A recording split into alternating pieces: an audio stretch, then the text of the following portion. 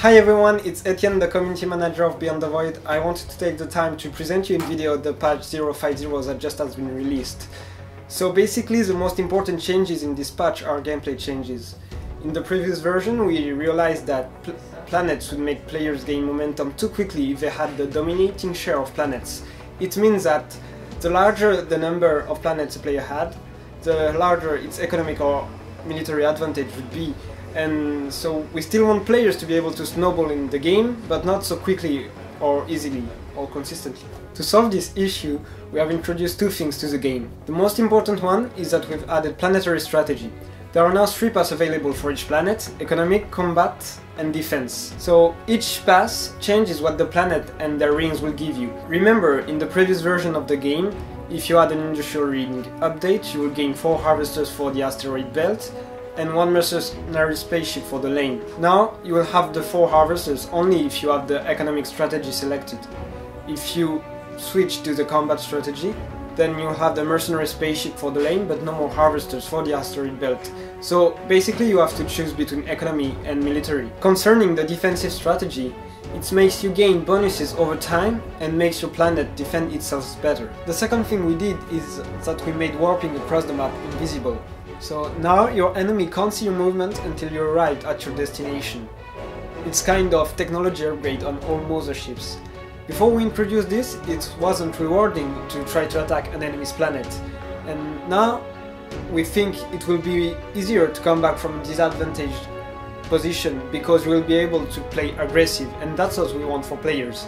We don't want to see players stay in the lane but we want to see action across the comps and planets and to reward the player who respond the most appropriately to the action around the map.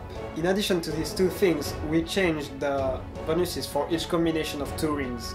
So we replace Guardians with special abilities that cost Ambrosium. Some of the special abilities will call upon a spaceship to help your mothership and to follow him, like previous Guardians, and others will allow you to boost for instance, your health strength or shield of your mothership and will make it possible for you to decide whether you prefer to boost your mothership or boost your army and therefore there are more ways to play the game. As you may have noticed, we introduced a new user in-game interface to fit with the gameplay changes.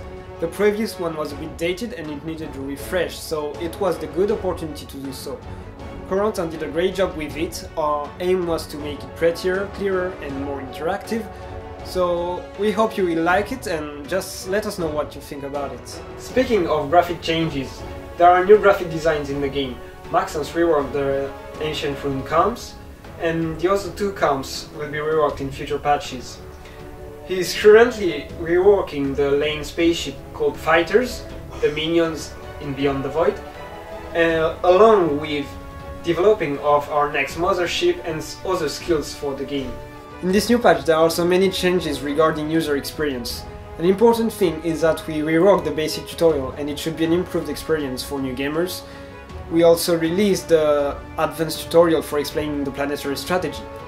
In addition, we added player level to the game, so at the end of all games you will now gain experience points and gain extra battle points when you level up and also you have titles every 10 levels. Among other things, we fix some bugs, reactivated normal games, add new soundtracks for victory and defeat, and I'm preparing for players two tournaments at the beginning of April.